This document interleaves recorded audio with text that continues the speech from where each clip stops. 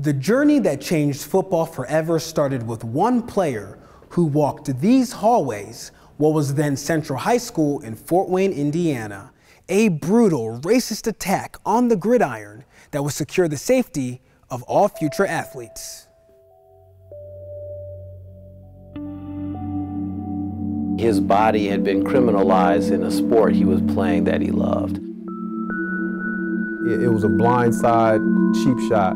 I've, it's one of the dirtiest plays I've ever seen.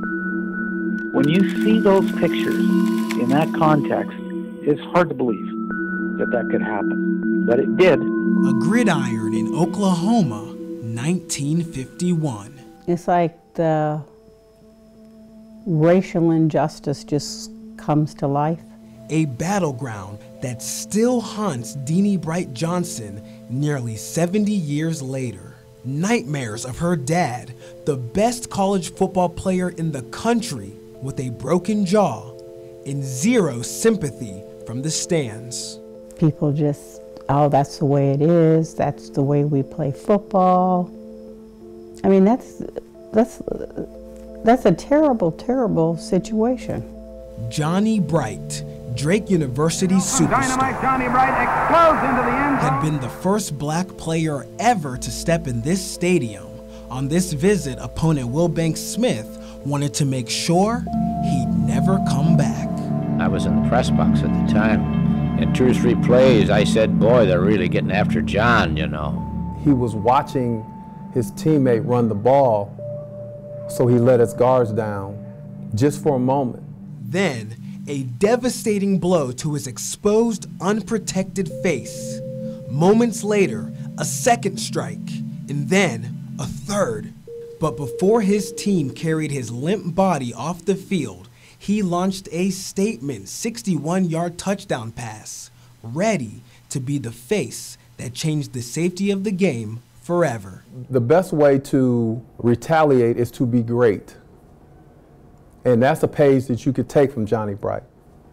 A lifetime of leaving witnesses in awe. And you couldn't beat him. It was unbelievable. He moved like a cat. Uh, I can remember getting, trying to tackle him, and he had those long legs and those knees hitting you. I can still feel that yet. My head going back. He was hard to bring And here is Johnny Bright putting 14 yards into the statistics. Johnny Bright's legend took off in Fort Wayne, Indiana. From Central High School phenom all the way to the Canadian Football Hall of Fame, schools, awards, and stadiums inspired by his name. My dad would say football, sports is the vehicle. His love and his passion was educating people. On the true spirit of a champion. Oh my gosh.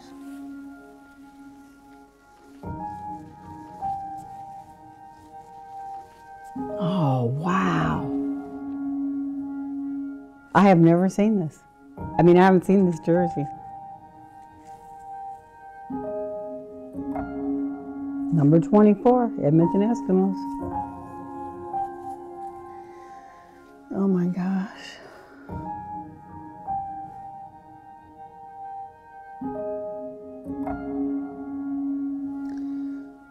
You know, even though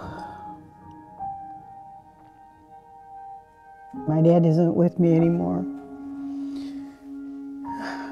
when I've needed a, a boost or encouragement and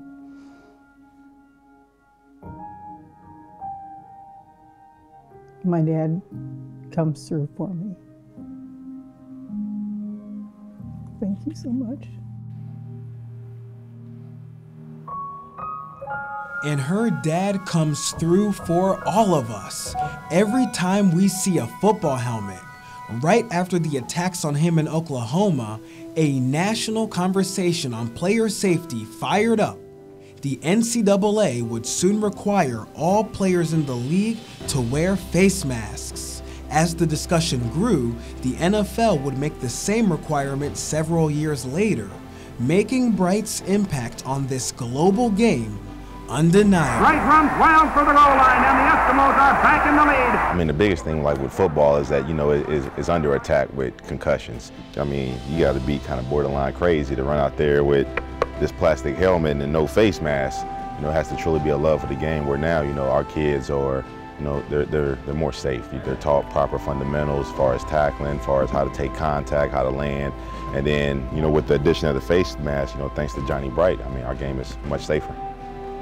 What would your dad say if he could see all the players wearing face masks today?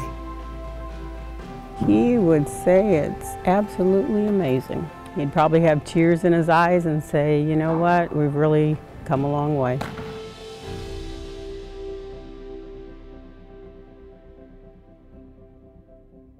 Oklahoma State University gave the Bright family a formal apology two decades after he passed away, about 55 years after the incident.